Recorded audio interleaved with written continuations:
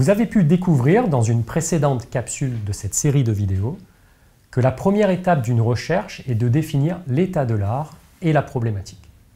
Cette présentation met en avant les nécessités de comprendre, de se poser des questions, poser des hypothèses et trouver des ressources.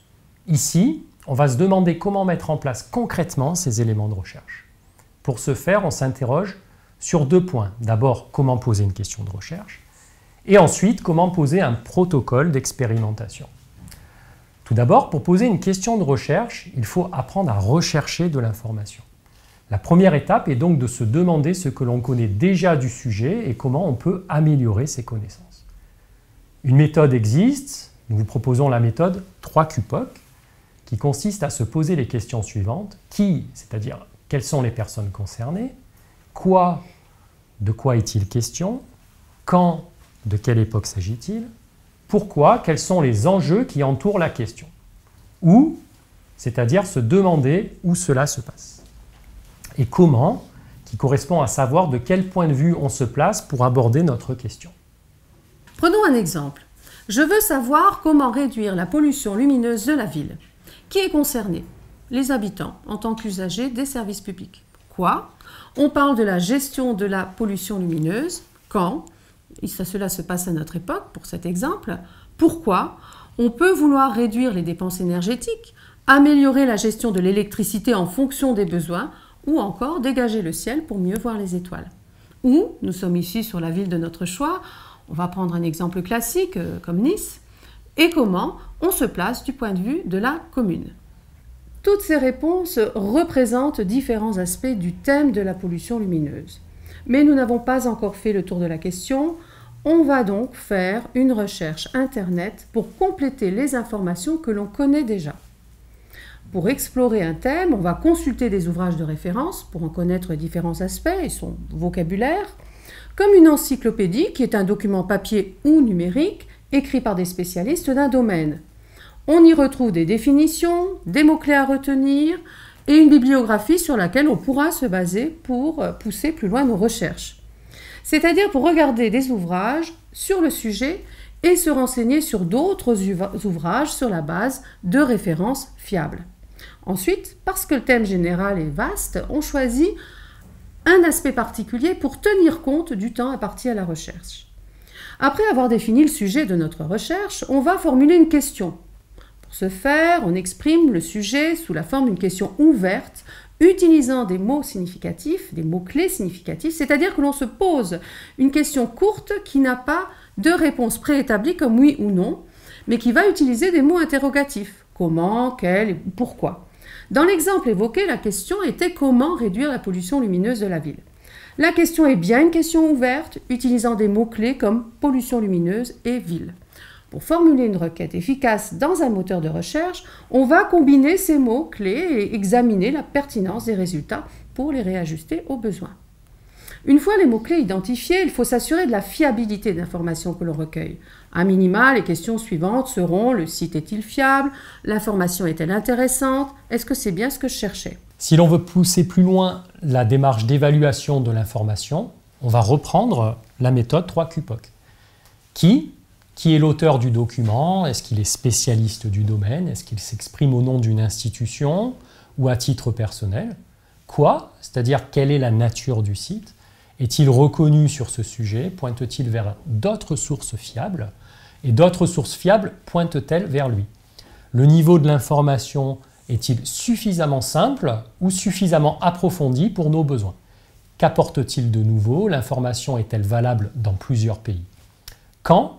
On se demandera donc quelle est la date du document, si le document nécessite une actualisation et si la période traitée par le document correspond bien à nos besoins. Pourquoi? Pose la question des buts du document. Quel est le public visé? Quels sont les objectifs du site? Et enfin, comment C'est-à-dire qu'il s'agit de savoir si l'information est rédigée clairement, si le document est bien structuré et si les sources sont bien indiquées. Une fois les résultats obtenus, on doit vérifier s'ils sont suffisants et pertinents pour notre enquête. Si ce n'est pas le cas, on se servira de ces questions pour pousser plus loin notre réflexion. Dans ce but, des habitudes de recherche sont également à prendre. Ne pas se contenter des premières pages de résultats, comparer les résultats entre différentes requêtes et différents outils, garder la trace de ces requêtes dans un document papier ou numérique, et clarifier les concepts abordés au fur et à mesure. Pour ce faire, il existe des astuces dans la construction d'une requête. On évitera les termes trop généraux qui risquent de produire des résultats non pertinents. On choisira de préférence des noms parce qu'ils sont plus facilement reconnus par les moteurs de recherche. On essaiera également de dépasser trois mots au départ parce que l'usage de trop de mots restreint la question. Faire attention à l'ordre des mots qui joue parfois un rôle sur les moteurs de recherche, les mots les plus importants devant être mis en premier. Ces éléments vont nous aider à comprendre les limites de l'information et à ne pas prendre toute information pour argent comptant. Après avoir défini la problématique et appris à rechercher l'information, on va se demander comment construire le protocole de recherche. C'est-à-dire que l'on va définir de quels outils on a besoin pour répondre à notre problématique de la manière la plus fiable possible. Les questions vues préalablement sont des aides pour construire notre démarche. Elles font donc déjà partie du protocole de recherche, mais ces questions ne sont pas les seuls outils. En suivant, à partir de la problématique et des informations récoltées, on va construire nos hypothèses. Ces hypothèses sont des suppositions dont on teste la validité pour mieux comprendre les apports et les limites de notre enquête. Une fois ces hypothèses construites, on va mettre en place un protocole d'expérimentation. C'est à cette étape que l'on peut construire nos maquettes avec les enfants. Alors dans notre exemple, la question était comment réduire la pollution lumineuse de la ville. On va donc réfléchir avec les enfants, à partir des connaissances que l'on a développées sur le sujet, sur comment mettre en place une solution. Une fois cette première phase de réflexion terminée, on va regarder les outils matériels dont on dispose et construire une expérimentation. Dans notre exemple, on ne veut pas que toutes les lampes de la ville brillent toute la nuit. On va donc concevoir un système qui permet de n'allumer les lampadaires que lorsque quelqu'un passe. En pratique, on utilise des robots pédagogiques, intégrant des capteurs que l'on va relier à des lampes pour que celles-ci ne s'allument que lorsque le euh, capteur détecte un mouvement.